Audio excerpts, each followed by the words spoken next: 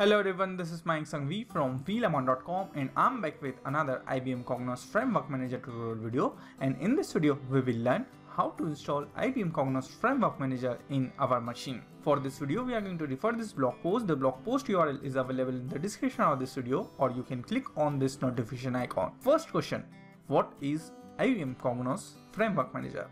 IBM Cognos Framework Manager is a Windows based GUI tool used for data modeling. It is normally used by developer or business user for data modeling. It is a client application for creating data modules and publish the final packages on IBM Cognos connection.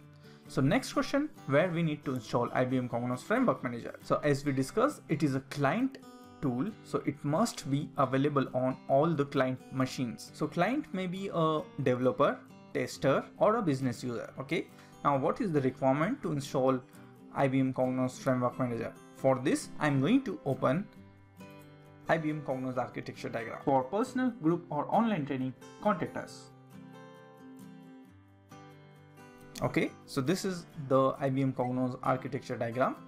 And as we discussed framework manager must be available on all client machines okay whenever a client use framework manager and send a request then the request is forwarded to web server via IBM Cognos BI gateway. IBM Cognos BI gateway then forward this request to application server on application server, the request is processed and if any database related information is required, application server get the required data from the database and send all the information back to the end user. So for framework manager, we must need to install web server, application server and database server. After installation of IBM Cognos Framework Manager, we must need to provide the URL for gateway and dispatcher. You need to first find out the gateway URI or dispatcher URI. You can find, you can request the gateway URI or dispatcher URI from the IBM Cognos admin. This video is only for installing Framework Manager. I'm not going to demonstrate how to install a web server how to install an application server and how to install database server okay? If you are looking for the installation step for web server application server or database server you can refer this video. In this video we explain how to install IBM Cognos BI on a single machine or multiple machine. So let me again switch back to my blog post. So this is the prerequisite. You must need to install web server application server and database server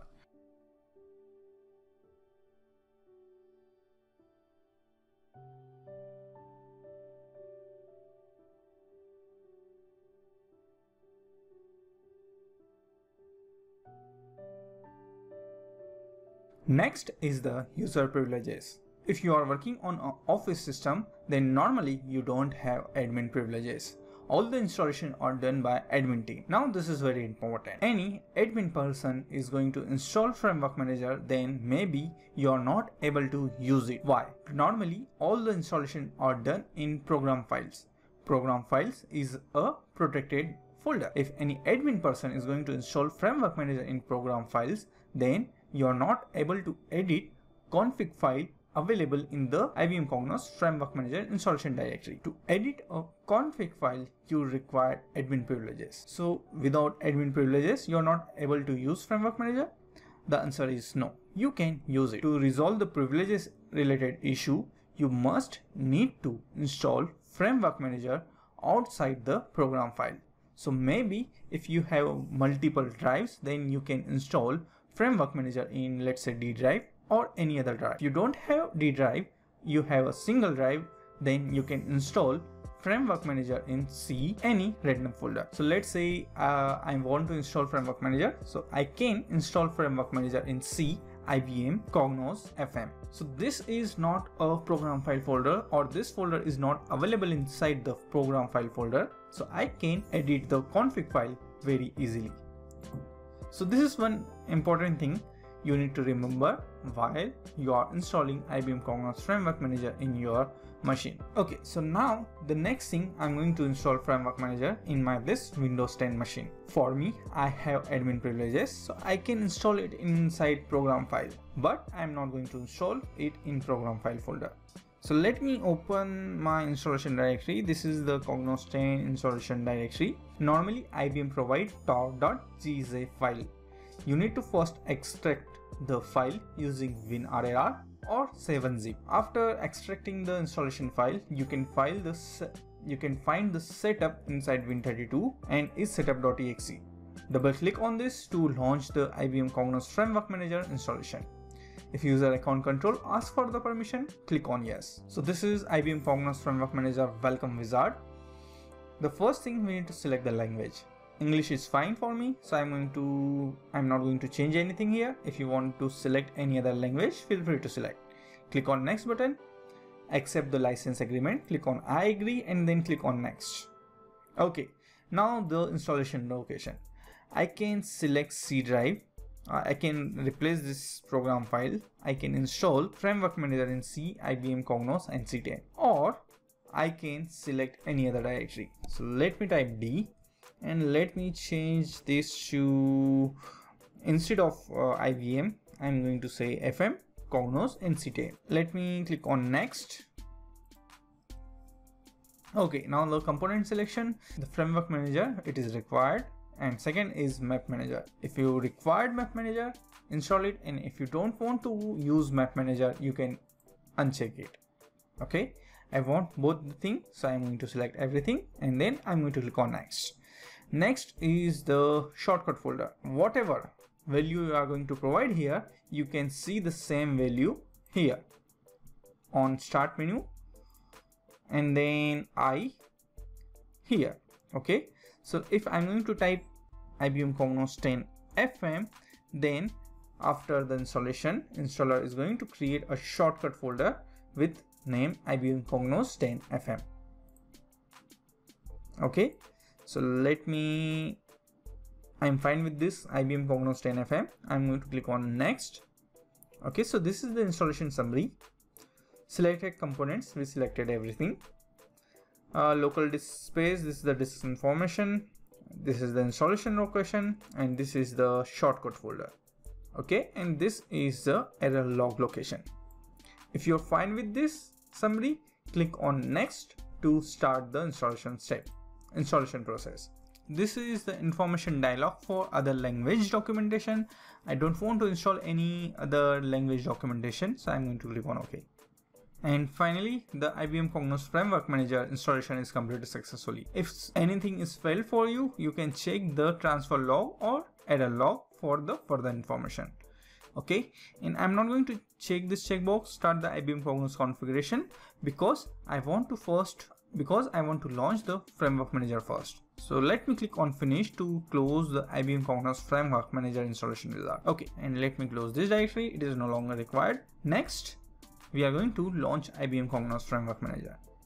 Okay, for this you need to click on the start menu and then you can find the IBM Cognos Framework Manager installation in the shortcut folder.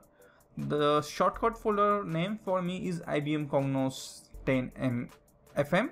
So I'm going to click on I and then I'm going to select IBM Cognos 10 FM new. Okay, so let me click on this and then I'm going to click on IBM Cognos Framework Manager. Click on new. So this is IBM Framework Manager. Now I'm going to create a new project. Okay, we are not going to perform any configuration yet. I'm going to start with a new project. So let me, uh, I don't want to change anything. Let me click on OK. Framework Manager is right now creating the project and here Framework Manager is accessing the web server.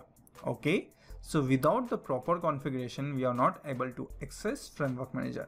If you are going to click on close, you can launch the Framework Manager, but you are not able to do anything. Okay, so this is the metadata wizard. Again, if I'm going to click on next, again, we are not able to retrieve the available data sources. Okay, so let me again click on close our framework manager is launched but we are not able to collect the we are not able to retrieve the useful information from IBM Cognos services. So let me close this. Uh, no I don't want to change anything. I'm going to launch IBM Cognos configuration. Okay so I'm going to select I. And if you have multiple folders then you must need to expand the IBM Cognos 10 FM shortcut folder. Okay, and then you need to select IBM Cognos configuration. If user account controller asks for your permission, click on yes button. Okay. Now we need to click on this environment and here we need to provide the gateway URI and dispatcher URI. Okay, so let's only change the URI for gateway first.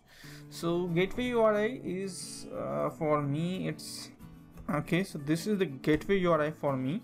Oh, I'm really sorry. This is the issue for the port. So let me confirm the port number. So I'm going to try with uh, colon 80 first. Yes, it's uh, colon 80. So I'm going to simply type colon 80 and then enter. Now the gateway URI is correct. I'm going to save this configuration file. So everything is fine right now. So let me click on close and let's try to open framework manager one more time. And uh, let me try to create another project. Pro new project 3 click on ok.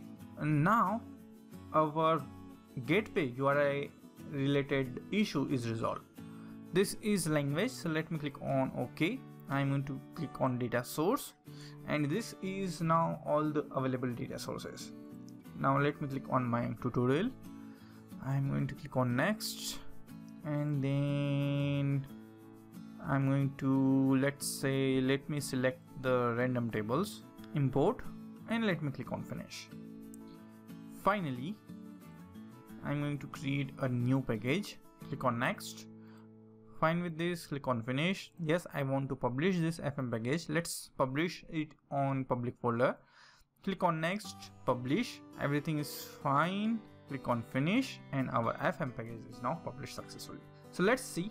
This is our new package. With our gateway uri we are able to publish our fm package. Now let me check.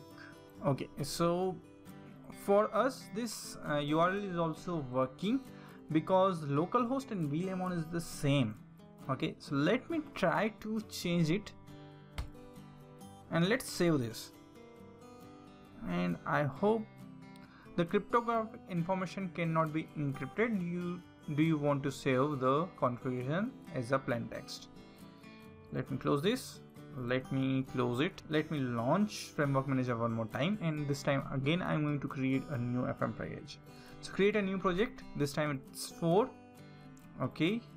So first thing so we are able to connect the gateway. We are able to access the web server.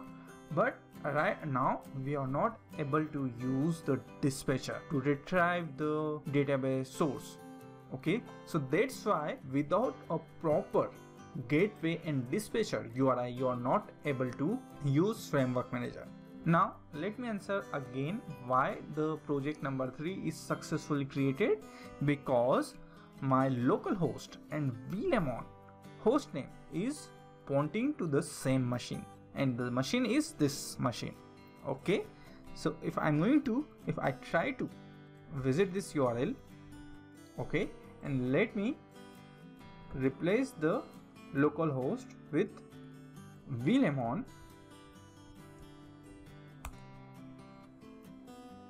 we are able to get the same result okay? So that's why previously our dispatcher URI is also correct okay? So that's why for the second. So for the second test we are for the second test our cryptographic information is generated successfully and we are successfully able to create the fm package. We are successfully able to publish it on ibm cognos connection. So again for using framework manager you must require a working gateway server gateway uri and dispatcher uri okay? So this is the installation step for IBM Cognos Framework Manager in client machine. So this is the installation step for IBM Cognos Framework Manager in client machine. In our next video, we are going to learn about how to create a new framework manager project and also we are going to learn the user interface. I hope you enjoyed this video. If you like this video, don't forget to click on like, subscribe, share it with everyone, provide your feedback and see you all in next IBM Cognos Framework Manager tutorial video. Some important URLs